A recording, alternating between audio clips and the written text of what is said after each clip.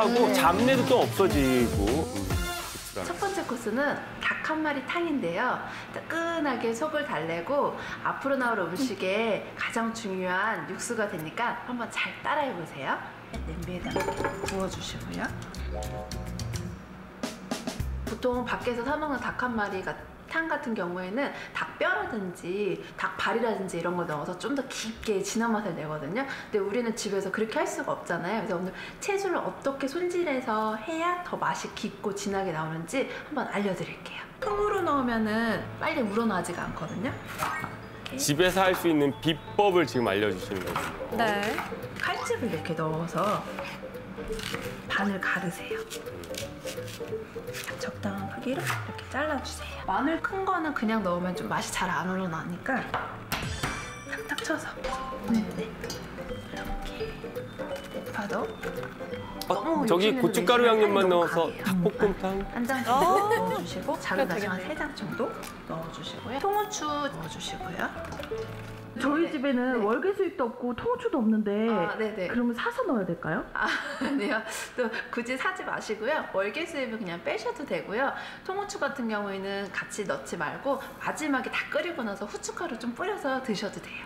물을 닭한 네. 마리 기준에 한 너무 집에 없는 재료가 좀 나오면 또 요리에 접근하기가 힘들어요. 맞아요. 센 불에서 부르르 계속 끓으면은 그때부터 중약불 정도에서 한 20분에서 30분 정도 네, 끓여주셔야 좀 깊게 맛이 우러나더라고요. 아니 근데 뚜껑을 덮어야 네. 빨리 익는 거 아니에요? 아 조금 잡냄새 좀 날려준 다음에 덮을 거예요. 아 그런 것도 보시면은 포인트군요. 부순물이 이렇게 올라오고 있죠. 붉은 채가 끓이고? 아니고요. 좀 고운 채 있죠. 그런 걸로 하시면은 훨씬 얘네들이 불순물이 잘 제거가 되거든요. 근데 어, 수저로 하셔도 되긴 해요. 수저로 하면은 국물까지 같이 뜨게 되니까 이 채로 음. 또 저 기름 걸르는 망이 있더라고요. 불순 걸르는 망도. 어. 싼 가격에 구입이 가능하니까. 아, 따로 그게 나오나 봐요. 청주는 한 두 큰술에 세 큰술 정도 부르르 끓은 다음에 뚜껑을 덮고 20분 정도 한번 끓여줄게요. 네. 기대돼요. 열어볼까요? 진짜. 두구두구두구두구.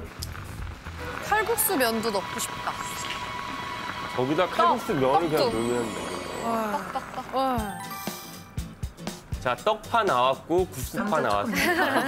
썰어가지고 어, 떡도 네, 떡 나왔네요. 떡이다. 좀 드실 수 있게끔 부추 같은 거를 오늘은 다양한 맛을 느껴보시라고 두 가지 버전으로 만들어 볼 거예요. 이렇게 갈라놓으신 거구나. 네네네. 간장 소스의 맛도 느껴보시고 고추 소스의 맛도 느껴보시고 이 두 가지를 합쳐서 도 맛보 보시라고 제가 두 가지를 한번 음, 준비해 봤어요. 물 반 컵 정도고요. 진간장 세 큰술, 설탕 반 큰술, 식초 한 큰술 섞어주시면 간장 소스예요.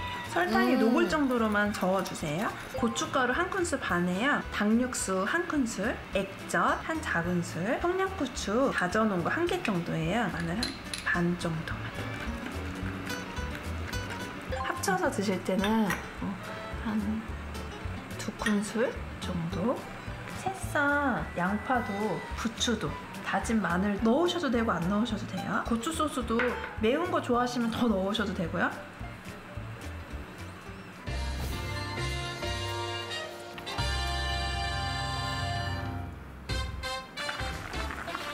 아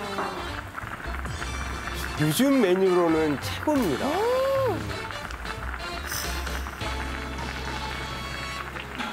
진짜. 아 오. 감자 저기다 또딱 찍어 먹고. 아 음. 드시고 계신 거 아니죠? 저는 섞은 걸로